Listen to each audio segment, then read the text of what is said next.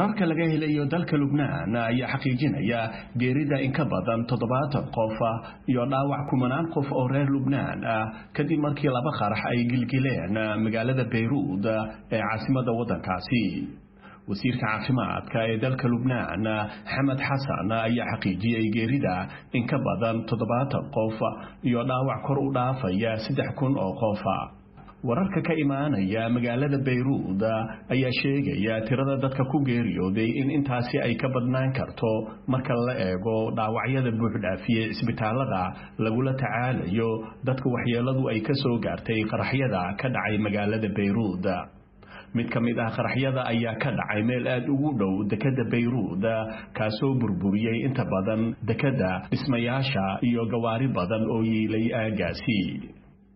ra-iisul wasaaraha xukuumadda lubnaan xasaan diyaab ayaa ku dhawaaqay in maanta oo arbaca ay tahay maalin qaran oo borordiiq loogu samaynayo dhibanayaasha qaraxyada gilgilay magaalada bayruud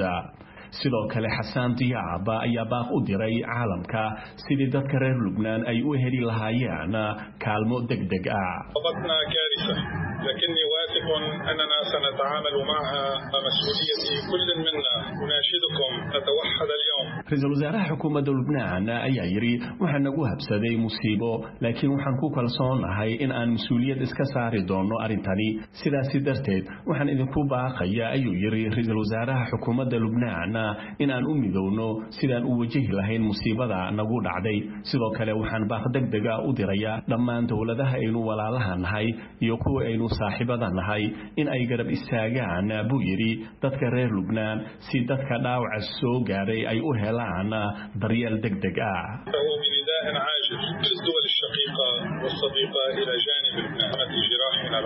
wasiirka arrimaha gudaha ee dalka lubnaan maxamed fahmi oo war qoraal ah ka soo baxay xafiiskiisa ayaa sheegay in ay socdaan baaritaano lagu xaqiijinayo waxa sababay qaraxa maxamed fahmi ayaa xusay in xoogaha hordhaca ah ay muujinayaan in qaraxa uu ka dhashay walxaha qarxa oo aad u culusa qaraxyada gilgilay magaalada bayruud ee dadka badan ay ku dhinteen ayaa imaanaya iyadoo oo lagu wado maalmaha soo socda in lagu dhawaaqo xukunka eedeysanayaasha loo haystay in ay ka dambeeyeen dilkii rafiiq xariiri ra'iisul wasaarihii hore ee waddankaasi haddaba maxamed buley maxamed oo ka faalooda arrimaha carabta iyo bariga dhexe ayaa faahfaahin ka bixinaya sida uu arko qaraxa ka dhacay magaalada bayruud iyo saamaynta uu yeelan karo. Ilaa iyo hadda cid si rasmiya u sheegatay qaraxan ama cid lagu eedeeyey ma jirto. Hase yeeshee waxaa xusud mudan in shantii beri oo u dambeysay ay dekada bayruud u xirnayd arrimo la xiriira coronavirus awgeed oo aysan shaqa ka socon. Maantana shaqada dib loogu soo laabtay qaraxanana uu dhacay. Sidoo kale waxaa muhiim ah in saddex beri kabacdi lagu dhawaaq doono xukunkii kama dambaysta ahaa ee dilkii loo geystay ra'iisul wasaarihii hore dalka lubnaan rafiiq alxariiri labadii kun iyo shantii dilkaas oo ay ku eedeysan yihiin afar nin oo lala xiriirinaya inay ka tirsanaayeen ururka xisballah ee awooda badan kule dalka lubnaan inkastoo isagu xisbigaas uu arintaas iska fogeynayo beeninayo inuu xiriir la lahaa sidoo kale baryahan dambe waxaa jiray dhaqdhaqaaqyo walaac badan muujinayay oo ka jira xuduudda israel iyo udhexaysa lubnaan israelna ay sheegtay in ay fashilisay dhowr isku day oo la rabay in xuduudeeda iyo tuulooyinka ku dhowdhow wax loogu geysto. Sidoo kale caawa waxaa arintan ka hadlay wasiirka arrimaha dibadda